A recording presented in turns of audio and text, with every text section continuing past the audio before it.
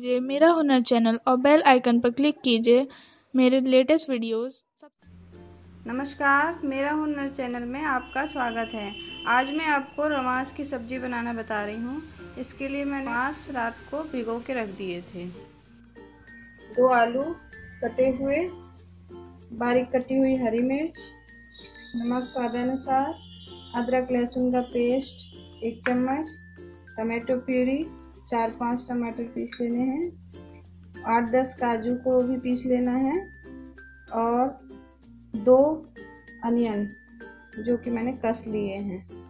और मसाले में है धनिया, हल्दी, लाल मिर्च पाउडर और तीन चार हरी इलायची और थोड़ा सा जीरा। हम गैस ऑन करके कुकर रख लेंगे और उसमें ऑयल डालेंगे।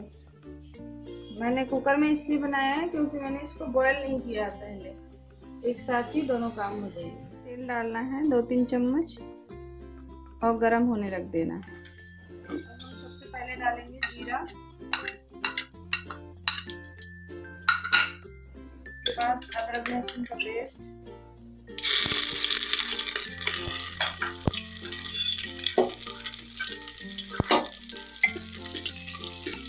उसके बाद डालेंगे प्याज।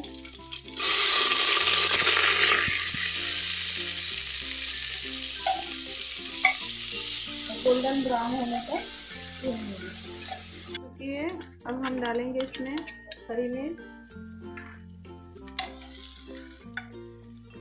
और सारे मसाले डाल देंगे। हम डालेंगे टमाटो प्यूरी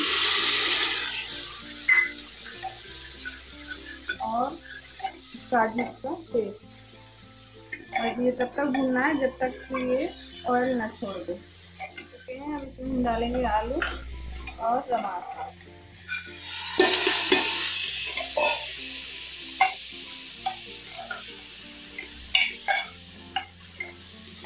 करके पानी डालना है और तीन चार सीटी लगानी है। सब्ज़ी बनकर तैयार है। आप किसी के साथ भी सर्व कर सकते हैं, चावल के साथ, पूड़ी के साथ या रोटी पराठे के साथ।